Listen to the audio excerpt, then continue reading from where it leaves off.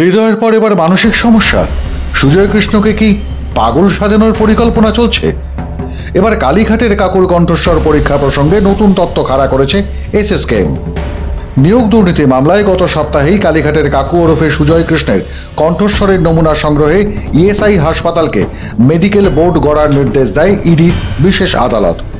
শুক্রবার আদালতে ইডি অভিযোগ করে সুজয় কৃষ্ণের কণ্ঠস্বরের নমুনা সংগ্রহ নিয়ে টালবাহানা করছে এসএসকেএম সে প্রেক্ষিতেই এবার নির্দেশ আদালতে।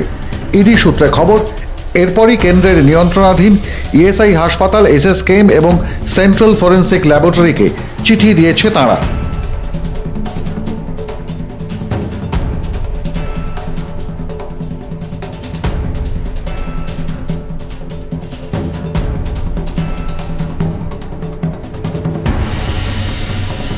ইডির চিঠিতে বলা হয়েছে, যত দ্রুত সম্ভব আদালতের নির্দেশ মেনে সুজয় কৃষ্ণ ভদ্রকে নিয়ে যাওয়া হবে জোকা ইএসআই হাসপাতালে।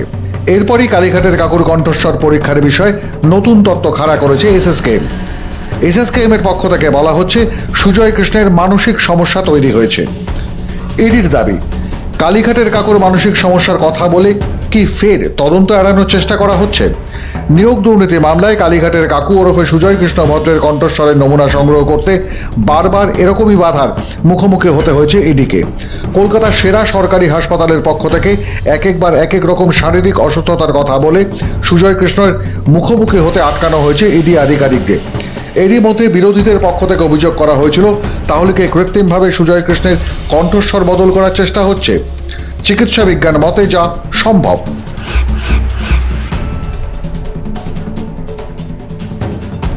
রাজ্যের বিভিন্ন মহল থেকে প্রশ্ন উঠছিল, হলো কি রাজ্যের সেরা হাসপাতালের?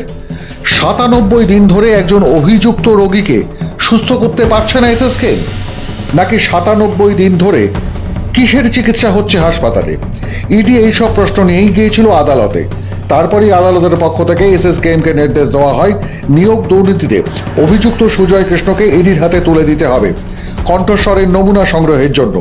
চলতি সপ্তাহেই কণ্ঠস্বরের নমুনা সংগ্রহের জন্য তৎপর হয় ইডি কেন্দ্রীয় এজেন্সির তরফে চিঠি দেওয়া হয় কেন্দ্রের নিয়ন্ত্রণাধীন ইএসআই হাসপাতালে।